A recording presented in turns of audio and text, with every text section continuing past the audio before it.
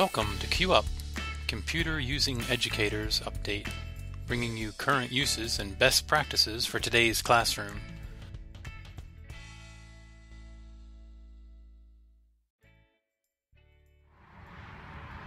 Hello, I'm Rod Carnill, and I'm at Gainsborough Elementary School today, where they're rolling out Chromebooks to fifth graders.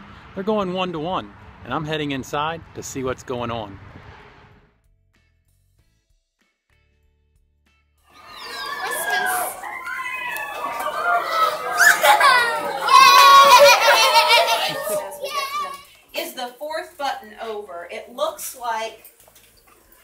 This. The other day when we were in here, do you remember that we used that at the very top of our browser to refresh the screen? The Chromebook keyboard is slightly different from other keyboards, so time was spent familiarizing students with the options. By pressing Control, Alt, and forward slash, you bring up an on-screen keyboard overlay and allow the user to discover the keystrokes used to quickly accomplish tasks like cut, copy, paste, page up, page down, and other useful shortcuts to know when using a Chromebook. By pressing the key on the keyboard, the keyboard overlay will show you those shortcuts. Control plus V is paste. Control plus C is copy. Control plus X is cut. The Alt key gives you a variety of choices as well, as do combinations of Control and Alt, and Shift and Control. Pressing Escape will hide the keyboard overlay.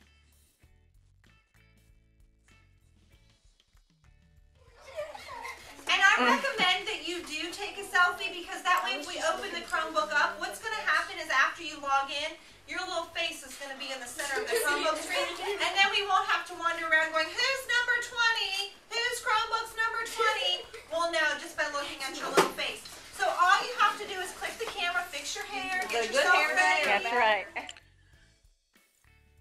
One way that students can customize their Chromebook is to change the background or wallpaper.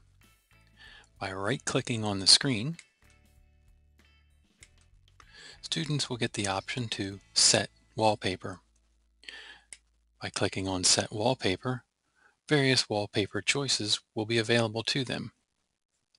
They can change the theme and look for other wallpapers to decide upon. Once they've found one that they like, simply click on that particular image and set it as your background.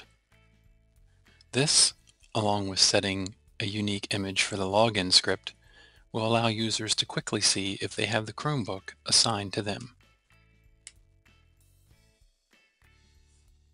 Now there's another one we need to add that's not already included in our apps. Yes, sir. We're not going to be going there right now.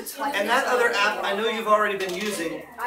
You guys have been using Google Classroom, correct? Yeah. So we need to find Google Classroom to add it. You'll notice at the top of your Customizing the Apps Launcher is another task for students to learn. By clicking on the Apps Launcher, you can see which apps are available. Students can find apps, add the apps, and place the apps on the shelf or taskbar along the bottom of the screen. This is necessary to personalize the device to the user, and it saves time. To find the apps, simply type in the name of the app you're looking for, and when it appears, add it to Chrome by cl clicking the Add to Chrome button. Confirm that you would like to add the new app by clicking on Add.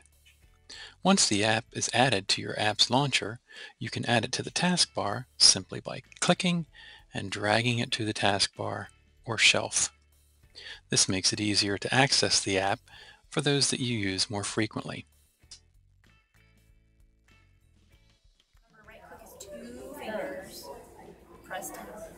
Nope, try again. I know it's tricky, you'll get it. Go back to your long form. Put your mouse on top of it. Two fingers.